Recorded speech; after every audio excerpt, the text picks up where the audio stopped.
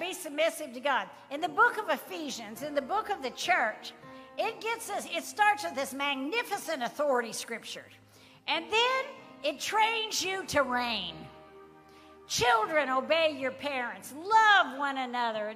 It gets you all cleaned up. And why? Because in Ephesians 6, and that's where we are right now in the church. Finally, my brethren, be strong in the Lord and in the power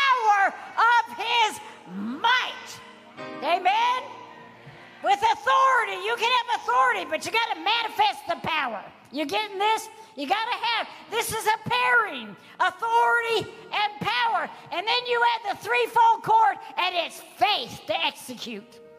You got to have faith to execute. I can tell you all these words and give you this message, but child, you got to have faith, right? That's right. Yeah, let, us have a little cymbal on that one. That was really good. Yeah, you got to have faith to execute. I can preach my little heart out to you, darling, but you've got to have some faith. And it says, resist the devil, he'll flee from you. All right. What does this word flee, that, that bunch of words, flee from you? What does it mean? Run in terror, darling. You could be a holy terrorist. Can I say that publicly? Uh, you know, listen, I was thinking of a story. Uh, I was preaching in the south of Argentina. I was teaching two days on breaking witchcraft. What a fun subject. Who gave me that assignment? Ed Silvoso did. Anyway, so I'm teaching on breaking witchcraft. So I fly into this city, and uh, you know, it was just a tough city. They told me uh, Bahia Blanca in the south, and they said, they said nobody's ever been able to break through here. Carlos Anacondia came. He had a very you know, uh, small meeting, and, and then I should have turned, I felt like I should turn around and go home right there, you know, because I so admire Carlos. And anyway, you know, but, you know, there was so much occult in that city. But we cried out to the Lord, and it was cold, it was freezing cold. They didn't have any heat in any of their buildings there in the south, and any of the facilities we were using. Uh, we grew fatter every session because we were putting on every piece of clothing we had, you know, underneath the other ones just to try to insulate against the cold. And so I remember that I was preaching, and all of a sudden I started calling out a demon of Macumba. Do you know what Macumba is? It's, it's um, a mix of, uh, uh, uh you know, uh, uh, Latin American occult mixed with what came from Africa. So it's a mixture, a mixta, and it's a mixture. And it's very, very strong. I mean, they will curse you with a Macumba curse, and, and many die. I mean, it's a real deal.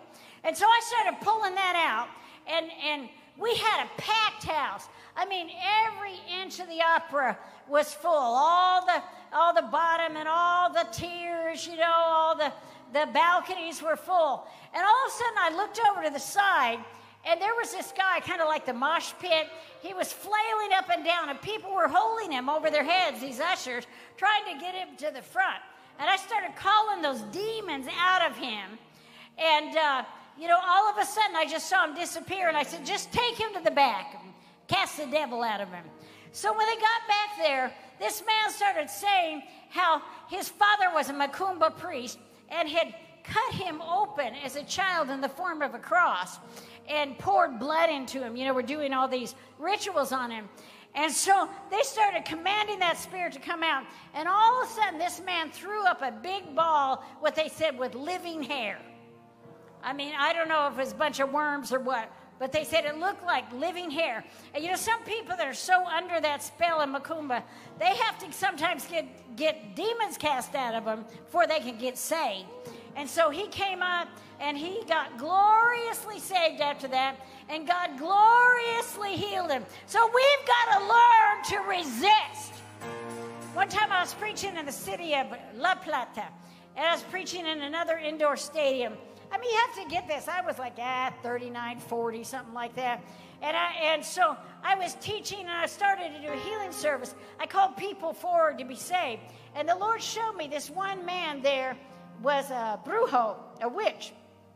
And, uh, you know, that he was working mental control on me. They're very adept at that in that part of the world. What does that mean? They will they send demons and they try to control your mind so you can't think.